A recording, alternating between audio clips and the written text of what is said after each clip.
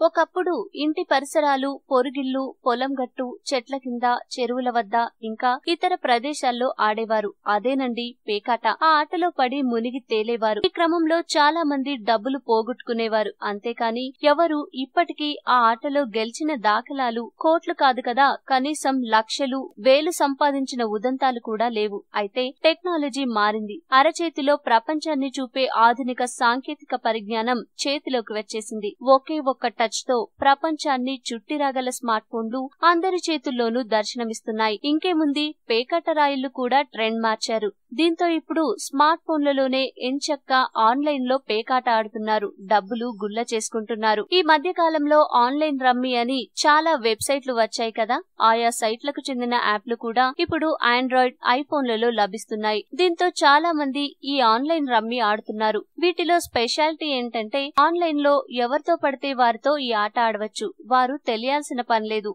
ఇక తెలిసిన వారుంటే అందరూ కలిసి ఓ గ్రూప్ లా ఏర్పడి మరీ వాటిల్లో పేకాట ఆడుతున్నారు. ఇలా ఆడడం వల్ల పోలీసులు పట్టుకుంటారనే బెంగ ఉండదు. పైగా ఆయా సైట్లు అన్ని లీగల్ అని ప్రచారం చేసుకుంటున్నాయి. దీంతో చాలా మంది పేకటరాయిలు ఇప్పుడు పేకలతో ఆట ఆడడం మానేసి ఆన్లైన్లో రమ్మి ఆడుతున్నారు. రాత్రి పగలు తేడా లేకుండా ఇరవై నాలుగు గంటలు ఈ యాప్లలో సైట్లలో మునిగి తేలుతూ ఆట ఆడడమే కాదు వేల రూపాయల డబ్బును పోగొట్టుకుంటున్నారు. ఇప్పుడిది మన రెండు తెలుగు రాష్ట్రాల్లోనే కాదు దేశంలో చాలా చోట్లకు పాకింది. చాలా మంది ఇలాంటి సైట్లు యాప్ల బారిన పడి డబ్బులు పోగొట్టుకోవడమే కానీ గెలుచుకున్న దాఖలాలు లేవు. మరి దీనిపై ప్రభుత్వాలు స్పందిస్తాయో లేదో చూడాలి.